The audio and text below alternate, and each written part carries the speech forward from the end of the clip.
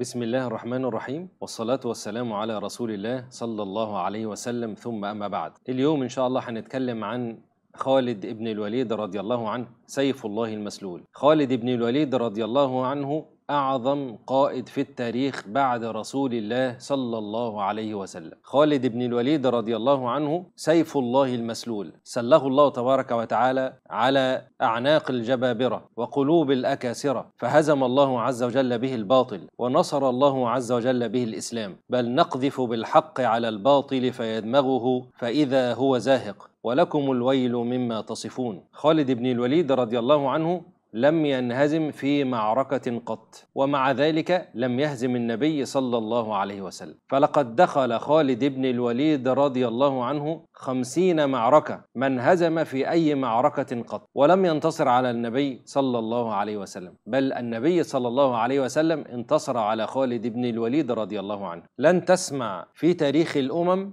أن رجل دخل خمسين معركة.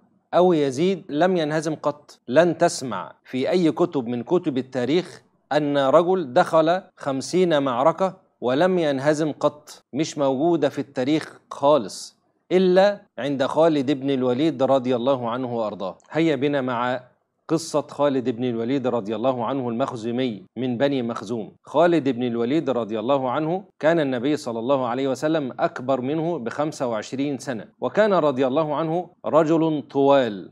يعني رجل طويل تقريبا طوله كده يبلغ ال 2 متر فأكثر. كان خالد بن الوليد رضي الله عنه عندما ينتطي الحصان يعني يركب الحصان كانت رجل خالد بن الوليد رضي الله عنه بتنزل عن بطن الحصان. يعني أي واحد بيركب مننا الحصان بتبقى رجليه في منتصف البطن أو شيء كده. أما خالد بن الوليد رضي الله عنه فكانت رجله بتنزل تحت بطن الحصان شوية. فكان راجل طويل جدا وعريض ومع ذلك ما كانش سمين. كان نحيف رضي الله عنه وأرضاه. عندما كان صغيرا رضي الله عنه وأرضاه ما كانت من أمه إلا أنها ذهبت به في الصحراء البعيدة لتربيه عند إحدى صديقاتها. يعني النبي صلى الله عليه وسلم لما كان صغير أيضا أمه ذهبت به إلى بني ساعدة. برضو الوليد بن المغيرة والد خالد بن الوليد قال لزوجته إن هي توديه المكان البعيد في الصحراء في قبيلة ما ليتعلم الفصاحة ويتربى في الصحراء. فكانت هذه البيئة شيء أساسي في تكوين شخصية خالد بن الوليد رضي الله عنه وأرضاه. فلما كبر كان خالد بن الوليد رضي الله عنه فصيحا جدا وقويا جدا وكان يستطيع أن يركب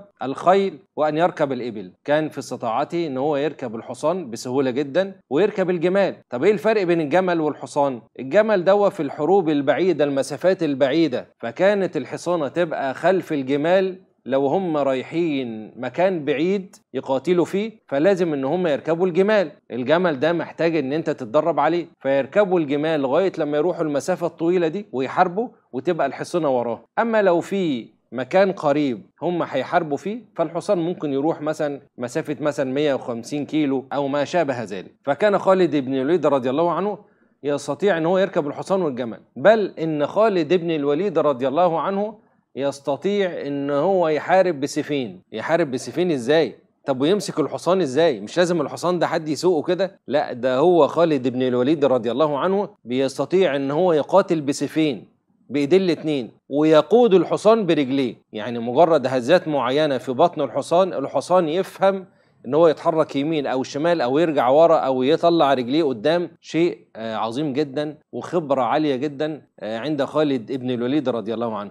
مين من الصحابة كان يستطيع إن هو يعمل كده؟ الزبير بن العوام رضي الله عنه. فكان اتنين من الصحابة يستطيعوا إن هم يقودوا الحصان بدون ما هم يمسكوا اللجام. خالد ابن الوليد رضي الله عنه والزبير بن العوام رضي الله عنهما. لما تربى خالد ابن الوليد رضي الله عنه في الصحراء البعيدة ليتعلم الفصاحة واللغة العربية ويتعلم الفروسية أصيب بالجدري. الجدري ده شيء زي الحبوب كده بتطلع في الجسم. ففي حبوب طلعت في وجه خالد بن الوليد رضي الله عنه فالحبوب دي أثرت فيه لما كبر فكان في بعض النطوءات في وجهه بسيطة جدا ولكنه كان رضي الله عنه وسيما فلم تؤثر هذه الأشياء في وجه خالد بن الوليد رضي الله عنه وأرضاه. كان لخالد بن الوليد رضي الله عنه 13 أخ منهم اثنين بنات. طبعا المشهورين في كتب التاريخ خالد بن الوليد رضي الله عنه والوليد بن الوليد بن المغيرة وعمارة وهشام دول المشهورين في كتب التاريخ وكان لهم شأن كبير في الإسلام. خالد بن الوليد رضي الله عنه كان أقوى إخوانه فالوليد بن الوليد كان مرفها ولم يكن له عزم كخالد بن الوليد رضي الله عنه. فخالد بن الوليد رضي الله عنه هو أعظم واحد في عيلة الوليد بن المغيرة هو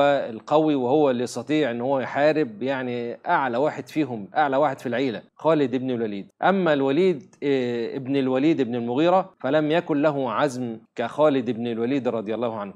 لذلك لما آه، ذهب الوليد بن المغيرة في غزوة آه، بدر أسر. فخالد بن الوليد رضي الله عنه قال يعني وكان يومئذ على الشرك. قال أنا عارف إن الوليد يعني ليس له عزم وكنت أظن إن هو هيتقتل أو يتأثر وفعلا هو اتأثر. وبعد كده خالد ابن الوليد رضي الله عنه أفداه بمال كثير جدا. أما والد خالد بن الوليد رضي الله عنه وأرضاه فهو الوليد بن المغيرة فكان يلقب بالوحيد وحيد في ماله يعني له مال فريد وله فصاحة فريدة.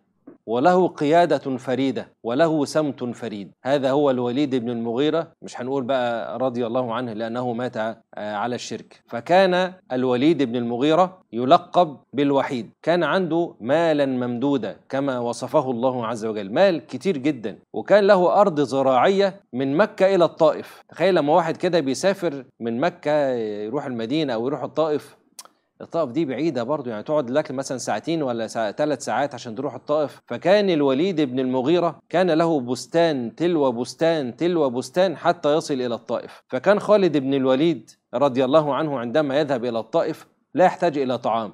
لماذا؟ لأنه سيمر على ملك أبيه. فالله عز وجل آه وصف الوليد بن المغيرة في سورة المدثر وبنين شهودا ومهدت له تمهيدا وله مالا ممدودا كل ذلك كان يتحدث الله عز وجل عن الوليد بن المغيرة. ومع ذلك مات على الشرك. وكانت القيادة في قريش لبني هاشم وبني مخزوم وبني عبد الدار. فكان خالد بن الوليد رضي الله عنه من بني مخزوم. فما قصة خالد بن الوليد رضي الله عنه مع أبيه ومع رسول الله صلى الله عليه وسلم؟ هذا ما سنعرفه في الحلقات المقبلة إن شاء الله. أقول قولي هذا وأستغفر الله لي ولكم والسلام عليكم ورحمة الله.